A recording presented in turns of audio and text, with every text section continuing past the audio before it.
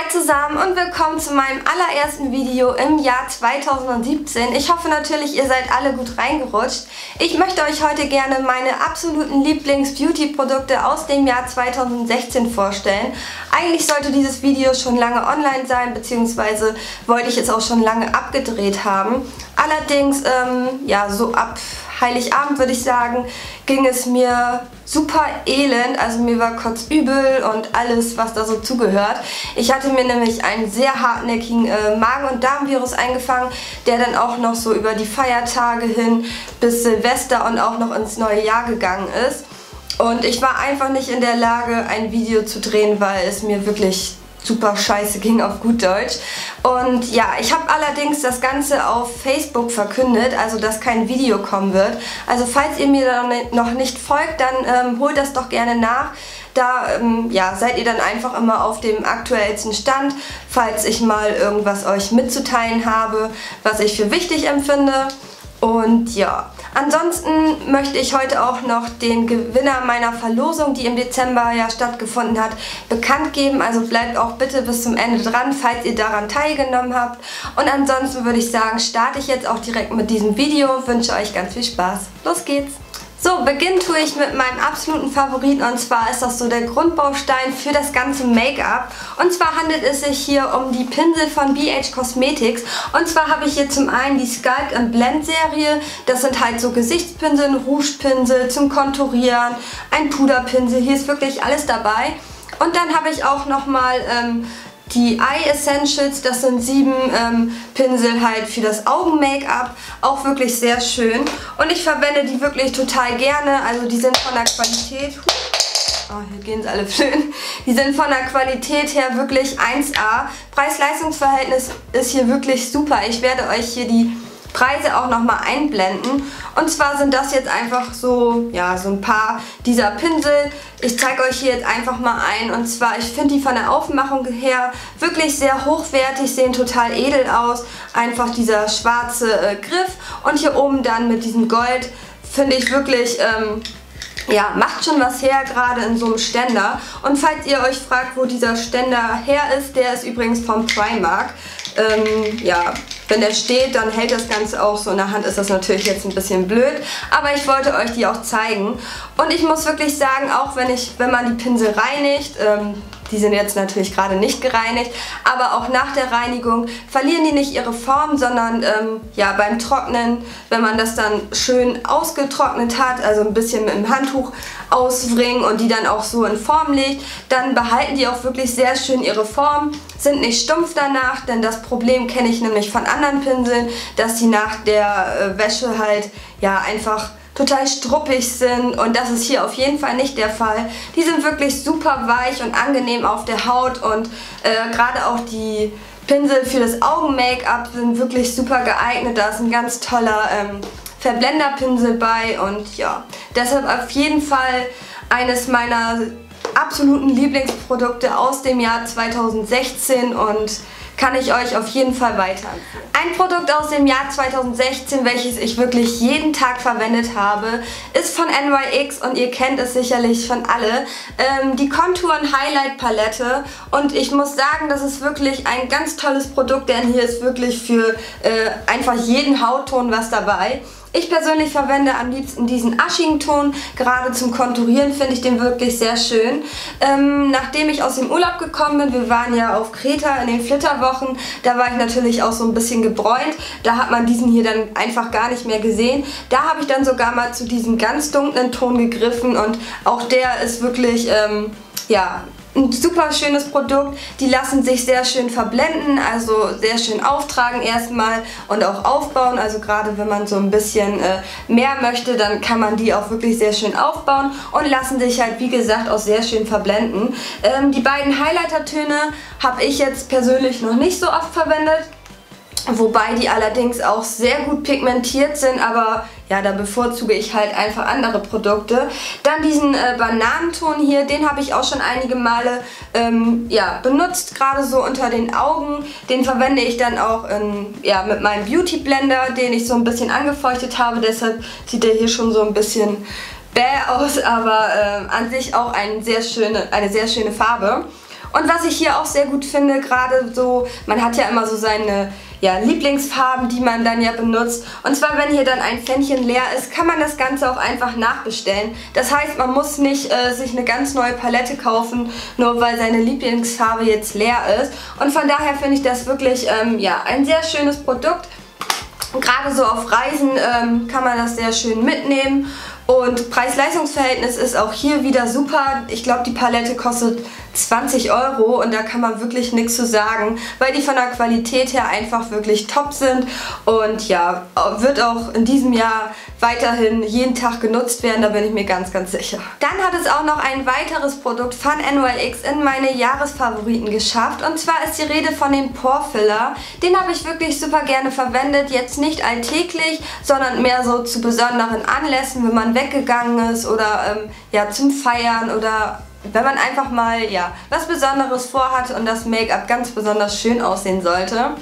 Und ähm, ja, dieses Produkt spachtelt so ein bisschen die Poren zu, sage ich jetzt mal. Das kommt hier äh, so ein bisschen dickpastiger her.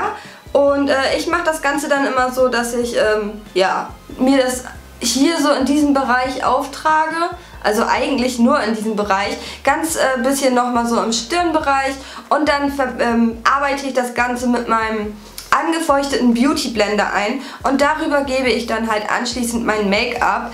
Äh, ich muss wirklich sagen, das ist eins der besten Porefiller Produkte, die ich jetzt so bisher getestet habe.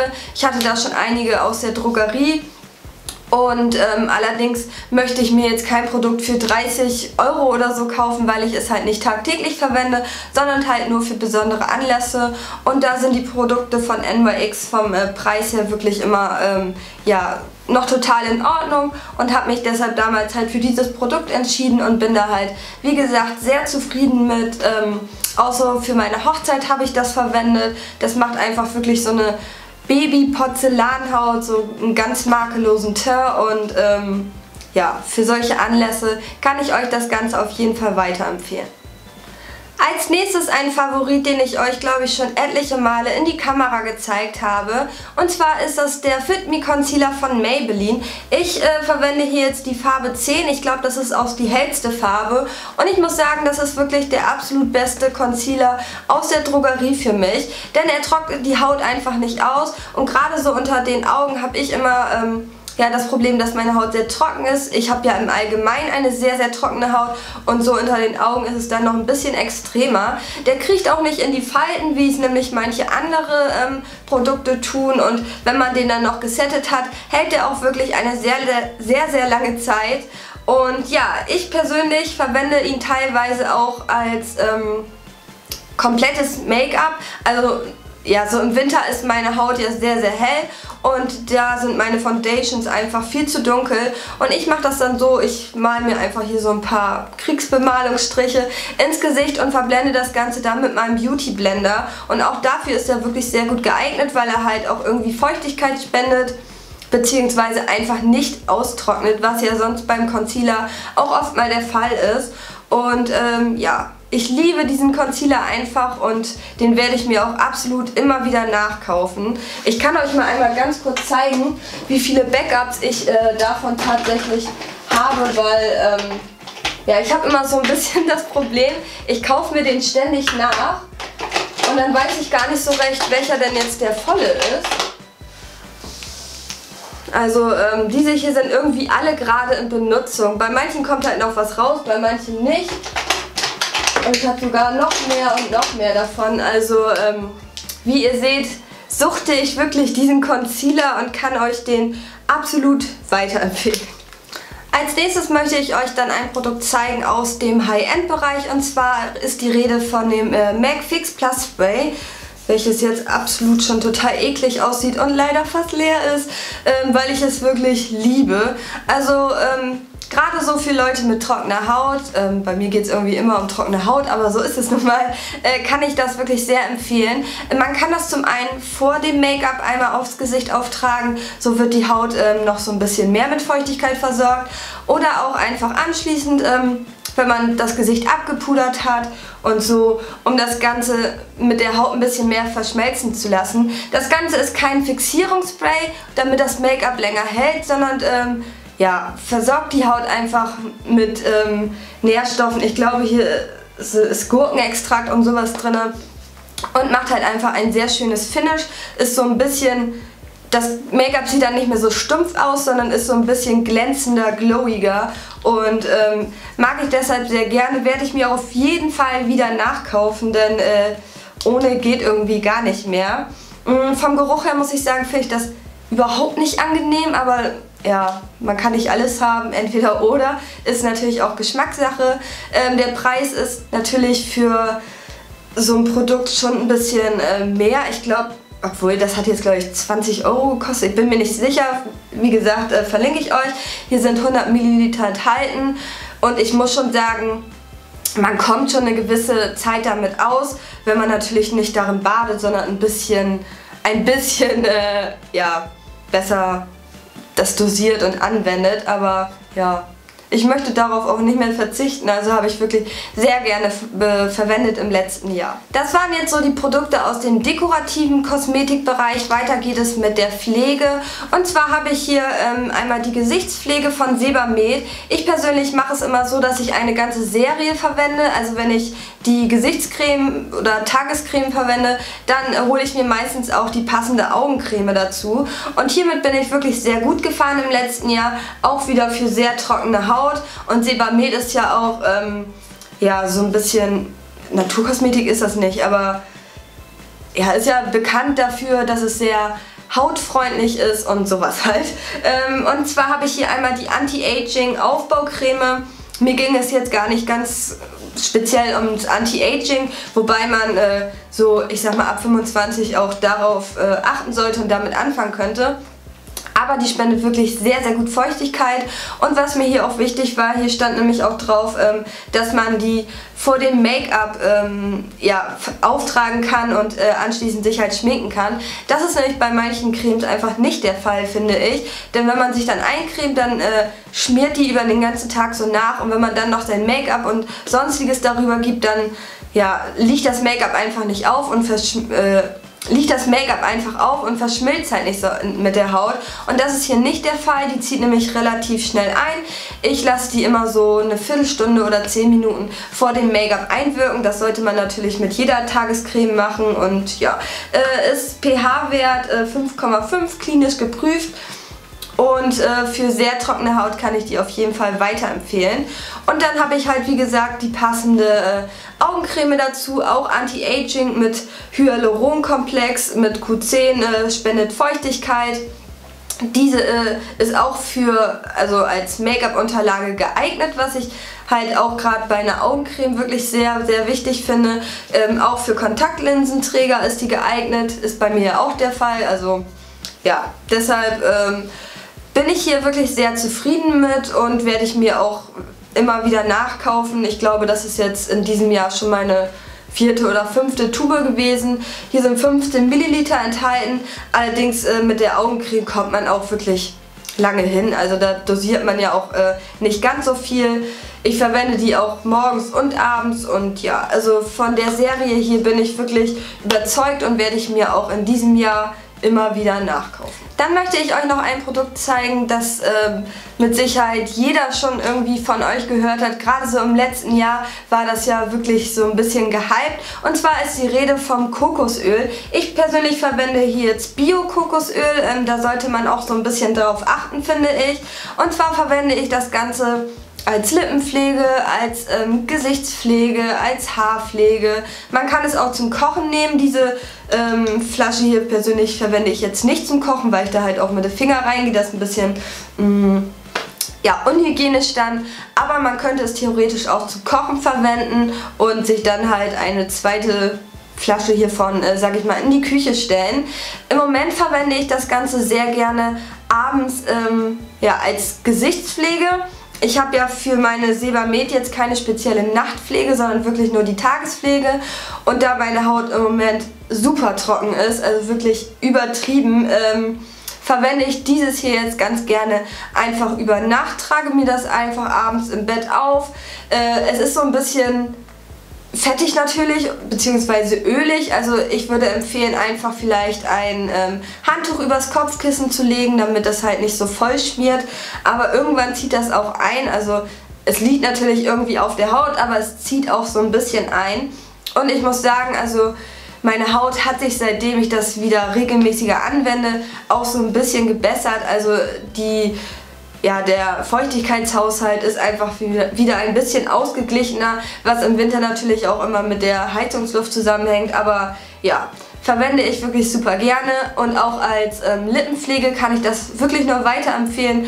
Einfach über Nacht schön dick auf die Lippen schmieren und am nächsten Tag hat man wirklich super zarte Lippen oder auch als Handpflege einfach Handschuhe drüber, also wirklich ein Allround-Produkt und äh, ja, ein Favorit aus dem Jahr 2016. Und kommen wir auch schon zum allerletzten Produkt aus meinen Jahresfavoriten 2016. Und zwar bin ich bei diesem Produkt erst so im September ungefähr darauf gestoßen. Also ich verwende es noch nicht seit Anfang des Jahres, aber ich finde, ähm, wer meine Videos schon länger schaut, weiß einfach, dass es äh, eines meiner absoluten Favoriten aus dem Jahr 2016 war und ich es jetzt einfach mal dazu zähle. Und zwar ist die äh, Rede von dem Garnier Wahre Schätze in der äh, Reihe Sanfte Hafermilch. Ich liebe einfach diese Serie. Ähm, zum einen halt den Geruch, das habe ich euch jetzt schon zig Male äh, gesagt, dass ich diesen Geruch so abgöttisch liebe. Und ich habe mir hier jetzt auch die ganze Serie zugelegt. Zum einen verwende ich hier sehr gerne halt das Shampoo. Dann dazu die passende Spülung. Äh, nach dem Duschen verwende ich dann noch sehr gerne die Sprühkur, welche auch gleichzeitig einen Hitzeschutz enthält, was ich wirklich sehr gut finde. Und dann verwende ich so zwischendurch, ich sag mal einmal die Woche, ähm, die Tiefenpflegemaske und ja, ich finde, das ist wirklich die absolut beste äh, Kombination, die es äh, für mich gibt.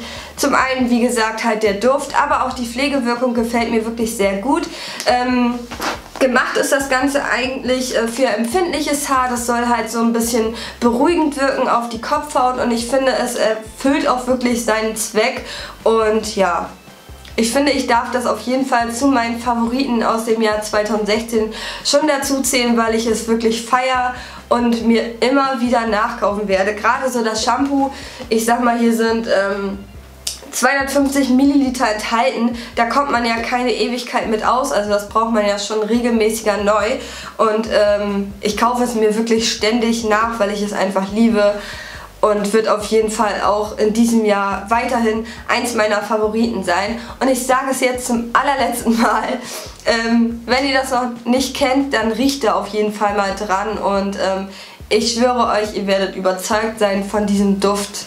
Es sei denn, was weiß ich, ihr habt irgendwie ja, halt einen ganz anderen Geschmack, kann natürlich auch sein, aber also die meisten, denen ich das äh, gezeigt habe oder vorgestellt habe, so aus der Familie oder aus dem Freundeskreis, die sagen alle, oha, das riecht echt voll gut und äh, ja, ganz, ganz große Liebe aus dem Jahr 2016. Das waren nun meine absoluten Lieblingsprodukte aus dem Jahr 2016. Ich weiß natürlich, dass Geschmäcker verschieden sind, aber das war jetzt so halt meine ganz persönliche Meinung und meine absoluten Lieblingsprodukte.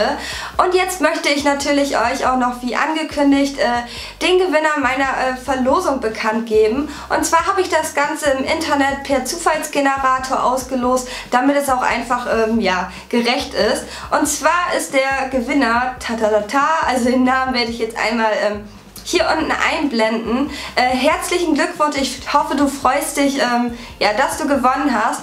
Und an alle anderen seid bitte nicht traurig, es werden mit Sicherheit äh, weitere ähm, ja, Verlosungen stattfinden und ähm, ja, dann könnt ihr natürlich wieder fleißig daran teilnehmen. Ich habe mich wirklich sehr gefreut, dass so viele daran teilgenommen haben. Ich habe gar nicht so unbedingt damit gerechnet, aber war jetzt halt wirklich sehr positiv überrascht.